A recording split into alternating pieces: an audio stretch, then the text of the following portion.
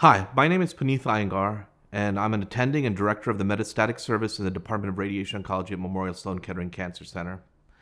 I was privileged this week at ASCO 2024 to present um, the NRG L002 trial initial results.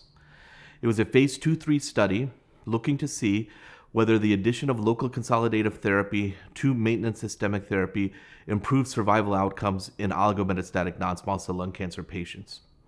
Very briefly, with respect to background, historically, uh, radiation has been used in palliation for advanced non small cell lung cancer patients. But over the course of the last 30 or 40 years, there's been an increasing effort uh, because of better imaging, better systemic therapy, and better radiation techniques to use radiation to improve not just uh, palliative symptoms, but also survival in oligometastatic non small cell lung cancer patients. So our study was a phase two, three study to look at this question. Um, after 215 patients had been randomized, uh, the study was closed um, due to not meeting a pre-specif- pre-specified um, endpoint for improvement in PFS with the experimental arm.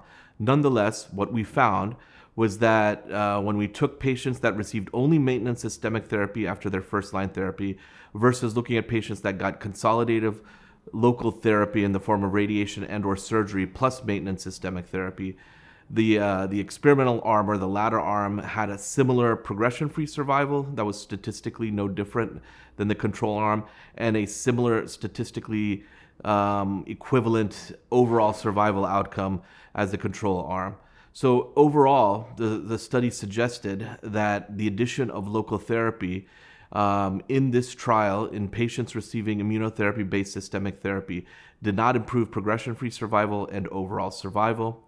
Um, one explanation could be that the radiation caused a slightly increased toxicity signal. Uh, but there's many other subset analyses we need to do uh, that may highlight a subset of patients uh, that may actually have benefited from the addition of local therapy to their systemic therapy regimens in the advanced non-small cell lung cancer setting for oligometastatic disease. Don't forget to like, comment, share, and subscribe to Onco Daily on YouTube. Hit the bell icon to stay update.